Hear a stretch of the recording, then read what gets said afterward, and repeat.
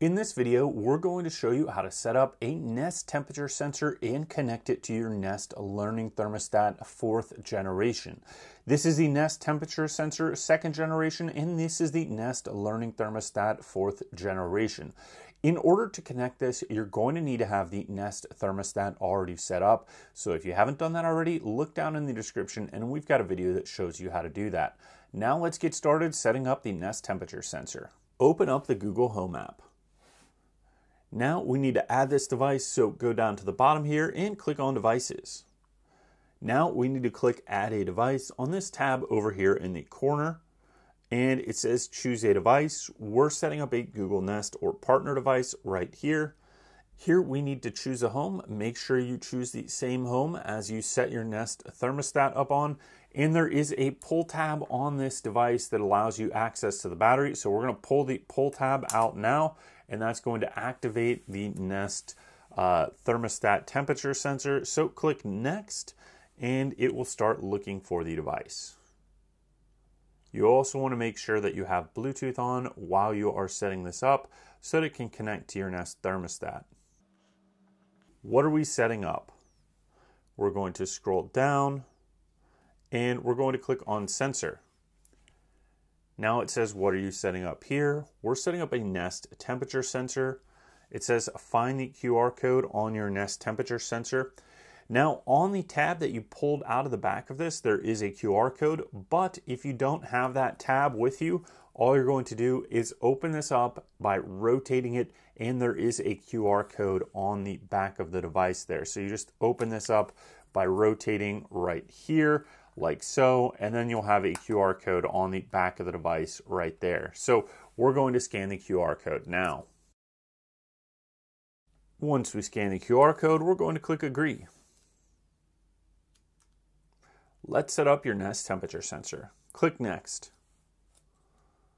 Now select which thermostat you'd like to set this sensor up with. Here we've got two options, but the bed one is the thermostat that we are connecting this to. So we're going to click next. Pull out the battery tab, we already did that, and we're going to click next. Take the sensor to a room you'd like to keep at a comfortable temperature. Try to keep the sensor within 50 feet of your thermostat. Your sensor will need some space around it. It should be kept away from heaters and direct sunlight. Either can be installed on the wall or placed on a shelf. We're going to click next. Now we need to test the connection. Connecting can take up to one minute. Connected. Your thermostats can now use the temperature sensor to activate heating and cooling to keep this room comfortable. We're going to click next. Mount the sensor on a wall or place on a flat surface. Click Next. Getting your device ready. Where is this device? So we can choose a uh, room for this. We're just going to call this one, let's say, office, and click Next. Click Next. Your sensor helps the room reach the right temp. Some rooms are warmer or cooler than others. A temperature sensor ensures that your heating or cooling will run until the room the sensor is in reaches the target temp. Click Next. You can use one or multiple sensors. Multiple sensors, including the one in your thermostat, can work together to balance the temperature in your home. Click Next.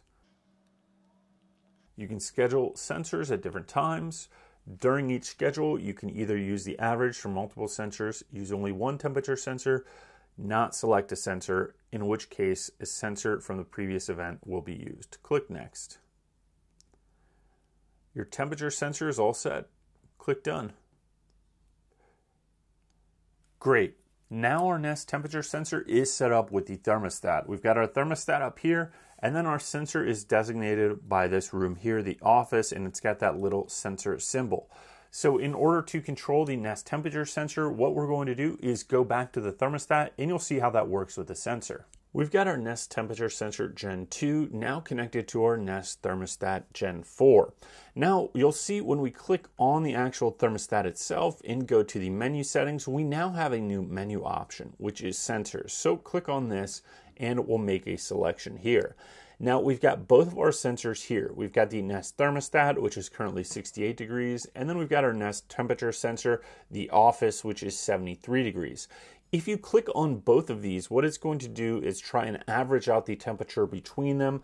So you'll have a mid-range system temperature where they're trying to balance it right at the same temperature for both sensors. But if you make the selection for the Nest thermostat, it's only going to hold the temperature of the Nest thermostat. And if you make the selection of just the office and take off the Nest thermostat, it's only going to hold the temperature of the office. So we're going to click done here.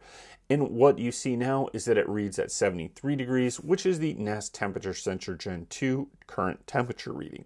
And what I like about this, and one thing that I've noticed that's really nice, is if you have a Nest temperature sensor and put it in your bedroom, I like to sleep a little bit colder, so you put this in the bedroom and then set your thermostat temperature to your bedroom temperature, and you can set it cooler and then the thermostat will hold that temperature so that you can sleep cooler rather than operating off of the Nest thermostat temperature, which is a different temperature. So this Nest thermostat sits downstairs and the temperature sensor sits upstairs in the bedroom, and they're going to be different temperatures typically throughout your house. Another use case that I've found for the temperature sensor is to track the heating and cooling in different areas in your house and then go around and adjust the vents so you get more even heating and cooling. You can place these in another room and see how much hotter or cooler it is than the main thermostat, and then you can dial back your vents or your dampers on your vents to be able to heat and cool your house more evenly, and I found that to work pretty well. Another use case I've seen for this and that I've used it personally for on previous generations is to put the temperature sensor in areas where pipes might freeze and or in places like your garage or somewhere that you're worried about things getting too hot or too cold. So I've put them in areas where my pipes are so that when I'm away, I can know if those pipes are getting too cold and if I'm at the potential risk for a freeze, which has been really helpful. So, in terms of use cases, my favorite is to use this for sleeping a little bit cooler at night and also using it to help balance out the heating and cooling at home. But one of the things that gives me the most peace of mind is having the temperature sensor there for when it gets really cold to make sure that my pipes won't freeze. So thanks for watching this video on how to set up your Nest temperature sensor generation 2 and set it up with your Nest Learning Thermostat Generation 4. If this video was helpful, please subscribe. That does help support the channel, as well as you can check the description below to learn how to do a lot of different stuff with your Nest thermostat. We've got a video that shows you how to set it up, how to install it, and just check in the description below. You're going to have all of those resources you need. So once again, thank you for being here. Thank you for supporting the channel, and we will see you next time.